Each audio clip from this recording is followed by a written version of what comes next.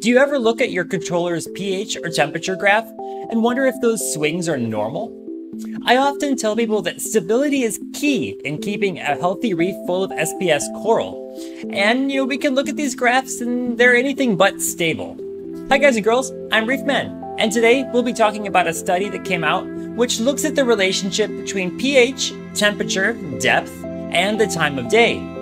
And also, if you haven't already subscribed to this channel, take a moment, do it now, and you won't miss any future updates like this one. And if you're already a subscriber, thank you. It's great to have you back with me. So, if you're interested in the paper itself, it is called Diel Temperature and pH Variability Scale with Depth Across Diverse Coral Reef Habitats. And the link to it is down below, so check it out. Don't get tripped up on the word diel either. It just means that they're going to look at a 24 hour window of time in the paper. In fact, the team deployed pH and temperature sensors to five different reefs in both the Atlantic and Pacific Oceans. They measured the pH and temperature of the water, as well as the time and the depth that they had placed the sensors at. The research team collected data from all of these different sensor arrays for between five and a half to 17 and a half days at each location. The sensor arrays were actually resting on the very bottom of the water on the ocean floor, not suspended in the water column like you might expect, maybe from a buoy or something like that. You can think of short term changes in water chemistry and temperature almost like ocean weather. And as you know, a cold front kind of moves through where you live and the weather gets colder. Maybe it's windy as the front passes. Maybe there's some rain or even snow as it passes. No, the same sort of stuff happens in the ocean. Um, ocean currents move around the water. Upwellings come up from the depths and bring cooler water to the surface.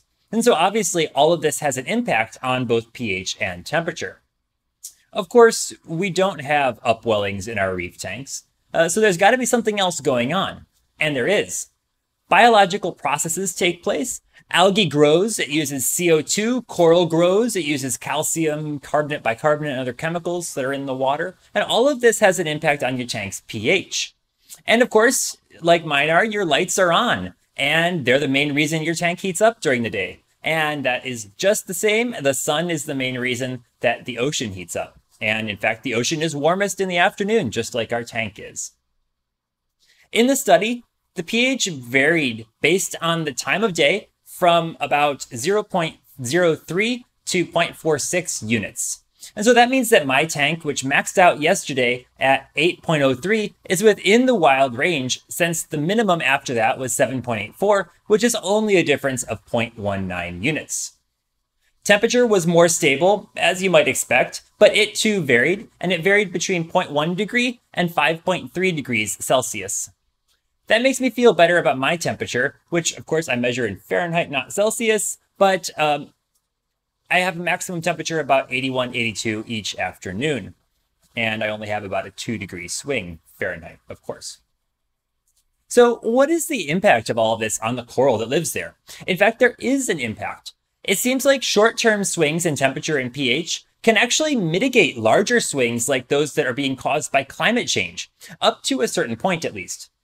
Also, corals exposed to pH swings tend to calcify faster, and they even grow larger than corals which were not exposed to recurring changes in pH, which I thought was pretty cool. You wouldn't guess that. Interestingly, the authors also found a direct linear relationship between pH, temperature, and the depth that the measurements were taken at.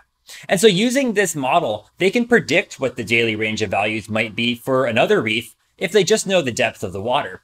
And so they did that. They used another paper that provided 118 measurements from other reefs, and their model held. I thought that this paper was really neat. It's interesting that temperature and pH vary based on depth. You would think that it moves around and it would all be the same, but it's even more interesting to see that the daily swings that we see from our own reef tanks are not completely out of line with what happens on a wild reef. It's also interesting that the corals that are subjected to more variation and change are actually more resilient against bleaching and climate change and the change itself. So I guess some variation in our parameters is actually a good thing. It'll harden, make our corals more hardy.